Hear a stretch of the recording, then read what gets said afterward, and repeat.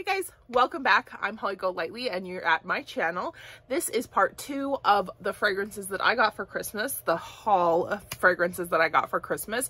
As you saw in the previous part, it did get a little bit too long, too for my comfort. So I split it up into two parts. It's literally one video split in half, so there's no new information that's going to be provided. It's picking up exactly where it left off in the previous video. I hope you enjoy, and I'll see you at the end. Bye. Now on to eBay. I got one from eBay. I got two from eBay. Oh, ooh, hold on. Uh, hold it. Hold up. I left one and I almost forgot about it. So I picked up two fragrances off eBay. The first one I ordered the most recent, like this is the most recent one that has come in. I just got it today, which is December 27th when I'm filming this um, and it came opened but unused. So this is from Mugler. This is Innocent Illusion from Mugler. So back in the day, the early 2000s, Mugler did a fragrance called Angel Innocent and it comes in a tower shaped bottle like this. It's baby blue juice and has a baby blue star here it's a very powdery kind of white musky type of scent that is not my favorite. Um, but they also then released Innocent Illusion as a flanker to Angel Innocent the next year, or maybe a year, two years later. And this one, at the time, I was probably like 20 something. Uh, this was really my jam. So it was sweet, fruity, it has praline and musk in the base. And then it has like mandarin, black currant, um, bergamot. So it's like fresh, juicy, and then dries down to a really soft, sweet, powdery finish. So I picked this up because I had, when I had um, our fire and all of my fragrances from before 2009 were destroyed, this was lost as well. And so I finally picked one up to replace it to see like what I thought about it. It's definitely not something that I would gravitate to now, but it's still something that I would wear, you know, if I felt like wearing a fruity fragrance. It's not as sweet as, it's not as sweet as Angel, but it's not as powdery as Angel Innocent. So it's a nice in-between scent, but it's a little bit expensive, I think, and I wouldn't say that you need to run out and find it unless you're a Mugler fangirl like me and you just want to have these things in your collection. But regardless, I did find it for a really fair price and I'm quite happy. The seller sent it in this little bag, which actually, oh, there, it's on this side. It says Terry Mugler on this tag. I don't know what the bag came from because it didn't come with this scent originally. But yeah, so I'll put the seller from this. I'll link it down below as well because that was a really good purchase really good transaction.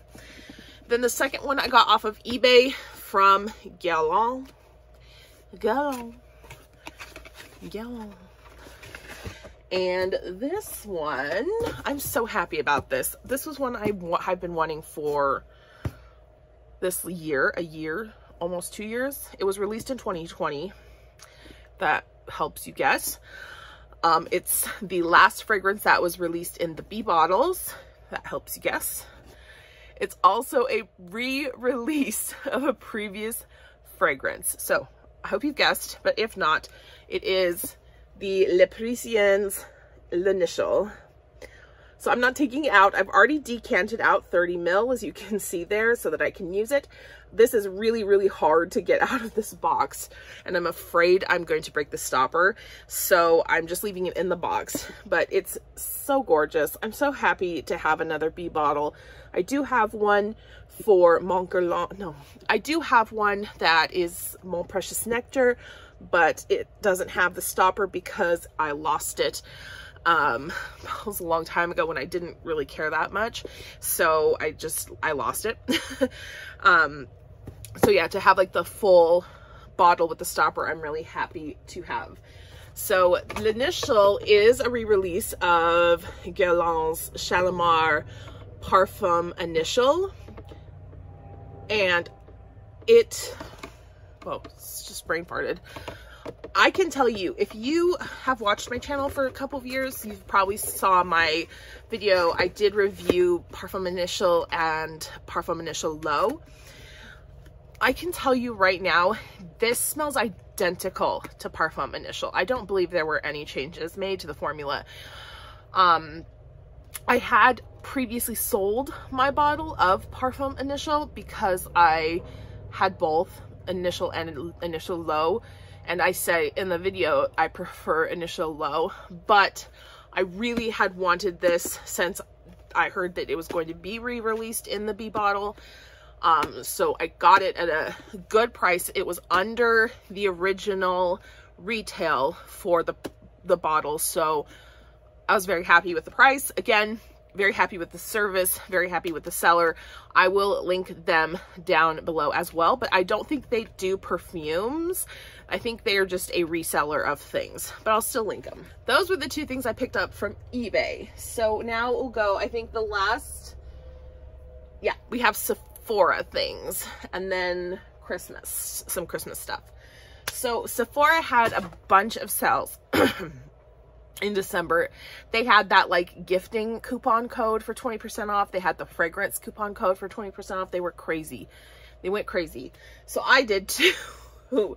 um, so during the first sale where it was like the gift easy coupon code, I picked up the fragrance La Habana from 1969.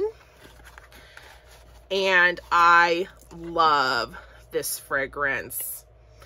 This is supposed to be a a verbal like the perfumer's idea of Havana, Cuba, based off of the verbal stories told to him by his grandfather, who was a seaman.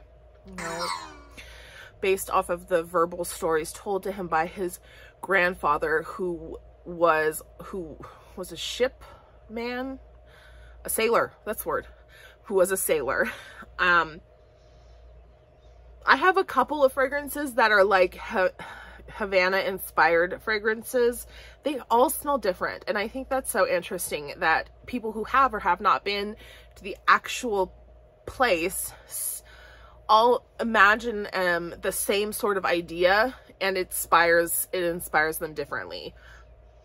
I love this. This has a really heavy tobacco smoke scent. It doesn't smell like pipe tobacco. It's not like rich tobacco. It's a very dry, smoky tobacco, but it's a little bit sweet and it has a definite boozy sort of note not office appropriate, not not really even daytime appropriate unless you are going out somewhere and you just are like wanting to be very lavish.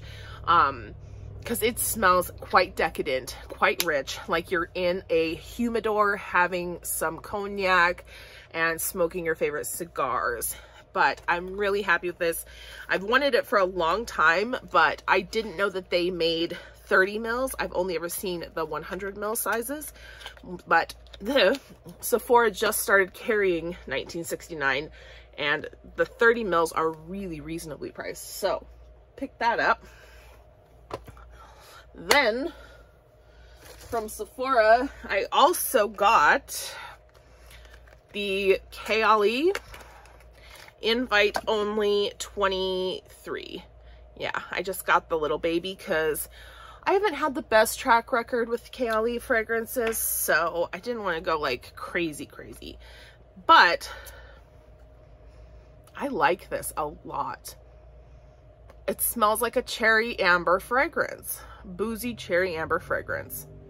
It's like if you layered Tom Ford's Lost Cherry or a dupe of that on top of Grand Soir or um, my Profumum Roma Amber Aurea. It's not mine, but the, you know, I have it. It's not like those, it doesn't smell like those. It doesn't smell quite as nice as those, but um, that's the vibe. It's very straightforward. I don't think this is something that is incredibly complicated. I don't think this is something that's incredibly complex or you know, too difficult to discern. I also don't think that there's if you know you don't like it on the first spray, it's not going to get better. It's you you need you're either going to not like it or you are. I really liked it and it does not last the best. it does not last good. It does not last great on the skin, but on clothes it's pretty okay, pretty decent. Um I've mostly been spraying it like on my like jackets and stuff so that it kind of hangs out um on my scarf it's not really a scarf, it's a poncho. Um, I really like it for that because it just kind of gives off this cozy vibe, but it's not heavy, heavy. So really enjoyed that. So those are the, ones that I got at Sephora. Yeah. So those are the things that I picked up um, at Sephora. And, oh, shoot. No, they aren't. I still have one more. Um, I did get this one for Christmas as well. Um, this one was a gift and this actually I had purchased 1969 La Habana and I, and I had seen this which is 1969 L'Air Barbès and I was really interested in this. Um so I told like I said I was like hey I would like to have this as a gift. And then no one bought it for me. So I, I bought it for myself and put it under the tree. And that's the story. But anyway, so L'Air Barbès is supposed to be inspired by the scent of the Parisian city streets. And the fragrance notes are aldehyde, fresh lemon, bergamot, concrete, ylang ylang extract, tuberose, ambrox, orris, cumin, ink, leather, dry woods, and white musk. It sounds like it might be like an aquatic type of fragrance. It also sounds like it might be sort of heavy, but let me tell you, this is not heavy. There's nothing heavy about this. It says air in the name, and that's what it is. It is so airy. It smells like a cologne at the first spray. When you first put it on, it smells quite masculine, very cologne but and I noticed that with um, the other 1969, La Habana smelled quite masculine when I first sprayed it. But as L'Air Barbès dries down, you get that iris note. You get that woods note. You get the leather. It's like it feels quite grounded. It does have a slightly textured scent to it. Um, if you like if you imagine senses textures, right? Some are silky, some are velvety, some are very creamy. This is, it feels a little rough, a little textured, but the scent itself is so light and it's like impossible not to like it's un it's really unique. I don't think I have ever, anything in my collection like this, even if I have stuff with the same notes. They're not put together like this. Um, I don't really pick up a lot of florals, but the aldehydes, um, the bergamot, and the iris, it just, it's so, it feels it feels like you're walking on a city street, but with like with your head in the clouds, like that feeling of like not being even paying attention. It's, it's, it's pay, it's not paying attention to where you're going in perfume form. That's, that's how I could describe it to you. I love it. I love it. I'm so glad I took a chance on it. I'm so happy with that. And then another fragrance that I got for Christmas gift. This was in my stocking. This was not purchased by me for me. And as a matter of fact, this was gifted to me by my family and I thought it was so cool. This is the coolest thing. And I, they didn't get this at Sephora. Um, this is Alien by Mugler. So it's the um, those little gel pen fragrance brushes. I don't even know, I can't open it. How did I get it open before like that? I don't know how to describe them really, but it's this. It's a little pen. It looks like, like if you've ever had the YSL L'Eclat uh, concealer, it kind of reminds me of that. Um, it's got the fragrance. This one's Alien, of course. It's got a little brush. I wonder if you can see the texture. It's not going to focus on it. So, um, and it, you just, oh, that was a thing. Ugh. I have so, oh, that was cute. I have so much perfume out already. I'm just gonna push a little bit. So you put the perfume out and then it's literally like a gel. I'm trying to see. And you just apply it where you want fragrance. I mean, I think this is ingenious. I understand why it might not be super popular because it's not, you're not, it's alien, so it smells amazing. You're not getting like a heavy, heavy dose of scent. It's light, um, and it's not going to be uh, like lasting all day. But for travel or for touch-ups, a fragrance to have something like this where you didn't have to worry about spillage or breaking and it smells so good. Oh my God, it's alien. So of course it smells good, but I love this. I think this is ingenious. And if they had one for a like Angel, if I could find one for Angel, I would buy it in a heartbeat. So that brings me back to my last two Christmas items. These are the two big perfume or fragrance gifts. Um, I also got a, my main gift is back here. Um, that Boba Fett. Um, it's a six scale figure and it's just amazing. It's amazing. But I'm not here to review or show that. I'm here for fragrances. So that's what we're to do. Okay. The last two. So I showed you the pseudonym from Ellis Brooklyn candle. And then I was also gifted um, the candle, the Speakeasy candle from um, Harlem, Harlem Candle Company. And this is the ceramic gold collection version. So it looks like that. And this has like a little lid and then the actual candle. It's hard to get out. Um, these things are packaged, like everything's packaged so well these days. It's like impossible to get them out. But it looks like this. So it has a nightclub map Harlem.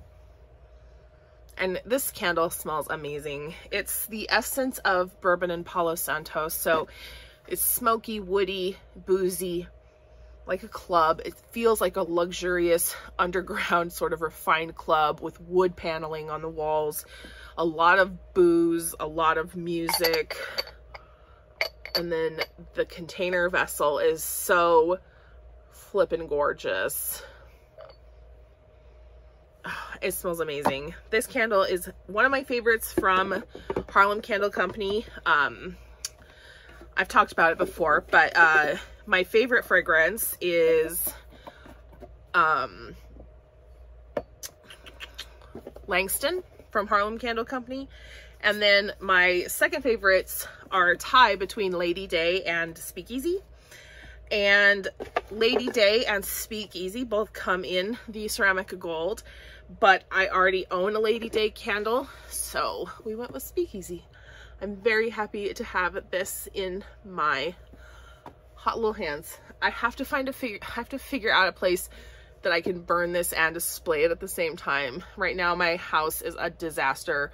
My son, my oldest son moved out in October and it just has kind of not gotten fixed up since then. So we'll get around to that. And then the last one was a gift that I knew was coming because I told the peoples I told them what I wanted, um, but I got from Xerjoff a fragrance, Pikovaya Dama. So Pikovaya Dama is the queen of spades. And I have the Dua dupe. And I think I will link that for the video. I think I did a video where I talked about it, but I'll link, I'll link that one. In. Look, this is fabulous. So they released Pico Dama in the, um, the 1717 fragrance collection, which has all of, they're all in here. Um, but they all have this stone nameplate. This is the most luxurious packaging I've ever seen in my life. And the fragrance, it has a tiger's eye stone, which is perfect because that is one of my favorite gems, not gemstones, my favorite crystal stones. And then Pico Dama is just, can't spray it because I put alien on that arm. This smells quite a bit like the um, Dua version. The only thing is that it's lighter, it's airier, it's more refined, definitely. Um, I, I kind of had felt when I first got the um, Dua dupe, I felt like it was a little bit heavy, a little cloying. Um, this one, I feel like it's much lighter and airier. Definitely not in the same sort of like thick, heavy feeling as like a Chanel number five or something else with like a lot of aldehydes um, or Shalimar. This feels light and airy, but also smoky and sexy. It's a comfort, it's a kind of fragrance that is both like comforting and attracting. When I wear it, I feel like I'm being hugged by like a grandma or um, my grandma or a mom, you know, it's just super comforting and it's something that I just want to keep smelling over and over and over again. So I am so, so happy. This is actually my first full bottle purchase from Xerjoff and I'm just super happy to have this. This one I got from Aura Fragrance. Um, if you haven't shopped there, I'll link them below. But I picked this one up from Aura Fragrance. It was a pretty good deal. It was quite a bit less expensive than anywhere else that sells Pikovaya Dama. So I was really happy with that. And the presentation is so luxe. Love it. I love it. So yeah. So yeah, it has the plate here, but of course this one's not numbered. Um, I'm so happy. I'm so happy with this. I am so happy with all the fragrance gifts I got. Um, usually I don't get fragrances gifted to me because I buy so many and most people already realize that it's hard to pick out something I don't already have. But this year, um, because a lot of the gift shopping was left up to me, I was able to really like find things that I really wanted that I knew I wouldn't normally get for myself. And I'm just so happy and grateful. I'm really grateful for the gifts from the gifts from everyone, from my family and everyone. Um, and I'm so happy that I get to share them with you guys here on the channel for another year. So thank you for being here. Thank you for watching. Subscribe, subscribe. Should have said that at the beginning. So anyway, thank you for being here. Thank you so much. I am Holly Golightly. I wish you happy new year and I hope you had a great holiday season and I'm looking forward to seeing what 2022 has in store. Bye! Mwah.